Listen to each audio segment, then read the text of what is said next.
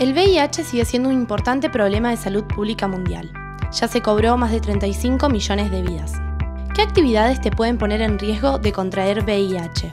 Tener relaciones sexuales sin preservativo, tener múltiples parejas sexuales, tener relaciones sexuales bajo la influencia del alcohol o de drogas, compartir agujas o jeringas contaminadas.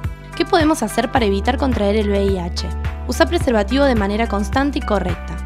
Limita o elimina el consumo de drogas y alcohol antes de tener relaciones sexuales y durante estas. Consulta con tu médico si debes realizarte las pruebas de detección de VIH o si la profilaxis preexposición es una mejor opción.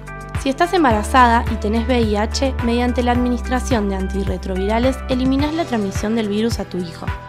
En nuestro país, el 70% de las personas con VIH conoce su condición. El 30% restante no lo sabe. ¿Vos conocés tu condición? Acercate al centro de salud más cercano. El diagnóstico es gratuito, anónimo y confidencial.